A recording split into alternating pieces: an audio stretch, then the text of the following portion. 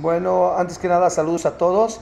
Y pues, como bien dice, sí, estamos teniendo una racha muy positiva, muy buena. La verdad, eh, los chavos están haciendo muy bien el trabajo.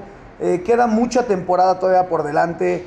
Eh, sería muy aventurado decir que, que ya estamos o que vamos a ser campeones. No, creo que eso lo vamos a ir adquiriendo juego a juego, semana a semana y todo lo que resta.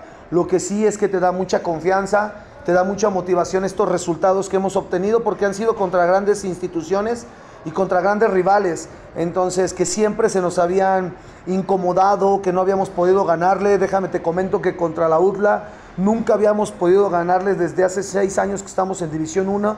Entonces, esta es la primera vez que les ganamos y siendo como visita, pues tiene un sabor mucho más especial.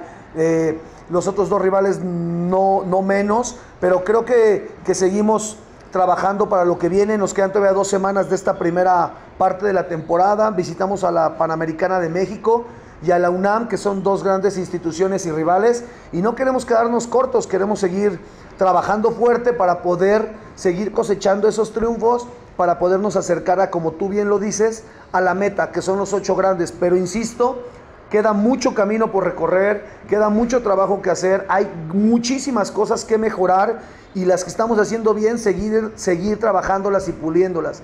Eh, invitar a la comunidad de la Inter que dentro de 15 días, finalizando el mes, recibimos a dos grandes escuelas y equipos como el TEC de Monterrey, Campus Monterrey, el viernes a las 7 de la noche y el sábado a los Tigres de la Autónoma de Nuevo León para que nos hagan favor de venir y acompañarnos como lo han hecho este último juego en el CEU, contra el CEU y ni se diga en la UPAEP y contra la UDLA se sintió un ambiente muy especial. De verdad que no saben cómo les agradecemos todo este apoyo, toda esta buena, buena vibra que nos están dando y los esperamos para que se sigan dando los resultados y, podamos estar aspirando a una clasificación a los ocho grandes. Recuerden que, que nada se, se, logra de la, de la nada todo es trabajo, disciplina, humildad y creo que ese es el camino que estamos siguiendo para poder lograr las cosas.